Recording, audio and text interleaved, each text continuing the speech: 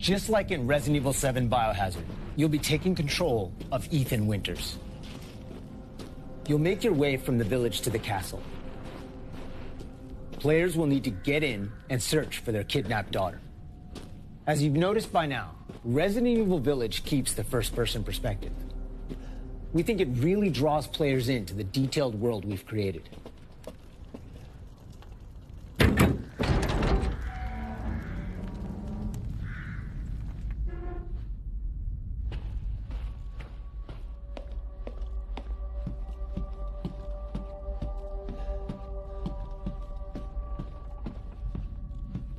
You'll see a lot of those little details come to life here.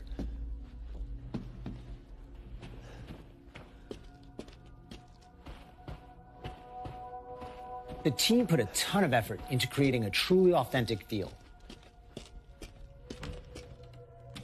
From art design to technology, everything ties in great and creates some beautiful visuals.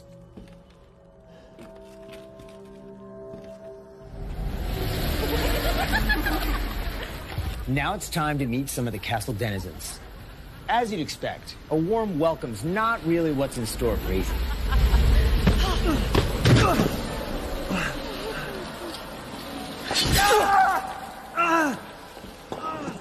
Man blood.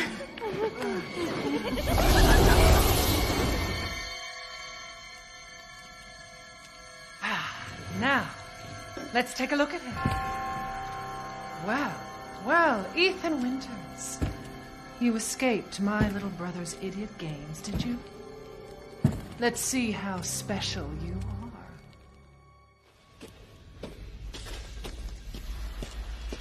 Shifting gears a bit, we're finally going to show off some combat.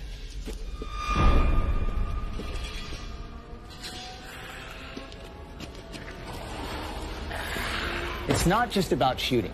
Guarding will also be an important part of the game.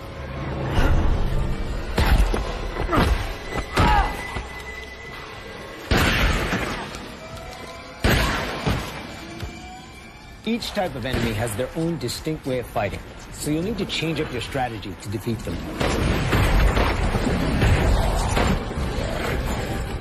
Everyone knows what to do with red barrels, right? Some of you will remember a similar management system in Resident Evil 4. This time around, we've added crafting, which allows you to create items such as first aid and ammo. There's also an assortment of weapons to find and utilize throughout the game.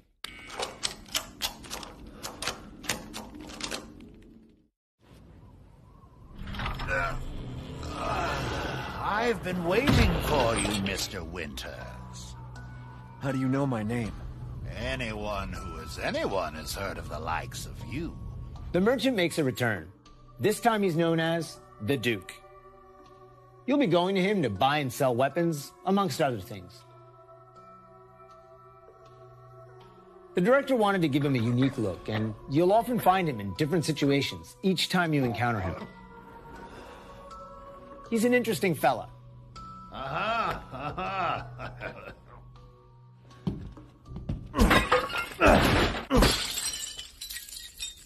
Smash away with your trusty knife. There's plenty of items to find in your travels.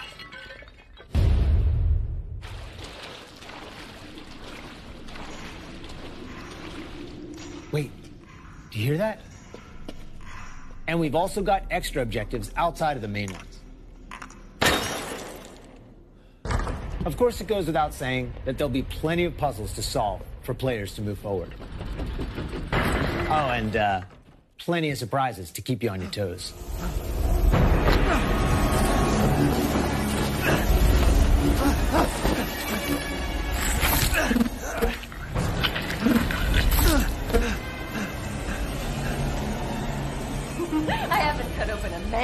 While.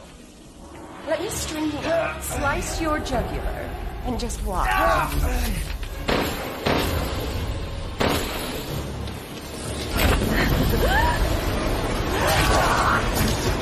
Well, that's one way to end the video.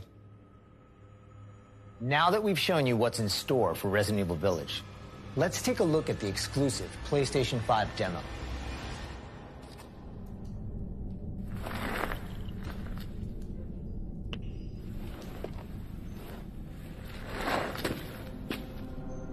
This demo, players won't be playing as Ethan, but as a character we're referring to as the Maiden. Unlike the actual game, this experience doesn't feature combat or even blocking.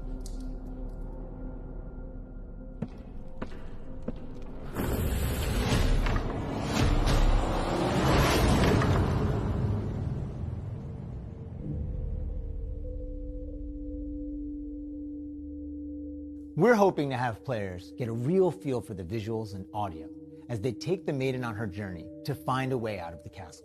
And you can download the exclusive demo on PlayStation 5 today.